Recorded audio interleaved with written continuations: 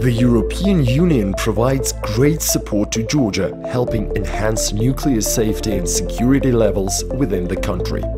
One such example is a project conducted by STCU, strengthening the preparedness for nuclear emergencies of the Agency of Nuclear and Radiation Safety of Georgia. Delivery of the mobile laboratory G4.01-19B. The main purpose of the laboratory is to provide a quick evaluation of the radiological situation on the spot.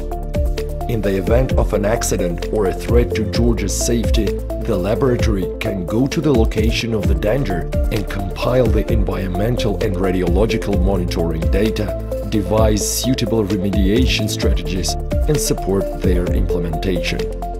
The mobile laboratory is based on the high-capacity off-road minibus and is designed to accommodate three experts.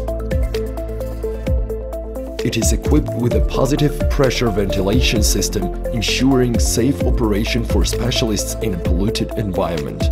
In addition to the mobile lab, a trailer is provided for transportation of the required cargo, equipment, and containers. The mobile laboratory is equipped with all the necessary equipment for on-site radiological measurement and assessment.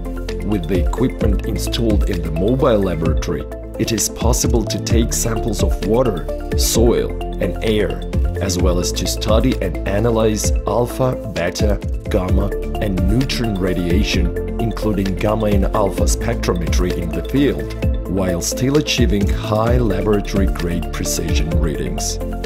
The laboratory operates on software used to estimate the spread of radiation-contaminated clouds or air masses while taking into consideration the surrounding terrain. The use of this laboratory will substantially enhance nuclear safety and radiation protection level in Georgia.